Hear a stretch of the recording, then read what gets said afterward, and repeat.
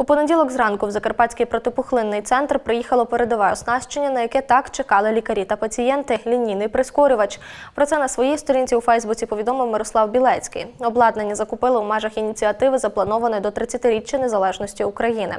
Завдяки інноваційному оснащенню ужгородські лікарі зможуть використовувати всі сучасні методики опромінення. Пропускна здатність лінійного прискорювача висока. За годину тут можуть пройти лікувальні процедури 12 пацієнтів. Загалом це понад 800 людей на рік. Наразі апарат розвантажують ще кілька днів знадобиться для того, аби його зібрати, змонтувати і підключити. Офіційний початок роботи не за горами. Певен, що завдяки передовим технологіям на сучасному обладнанню методики врятують не одну сотню життів, написав Мирослав Білецький.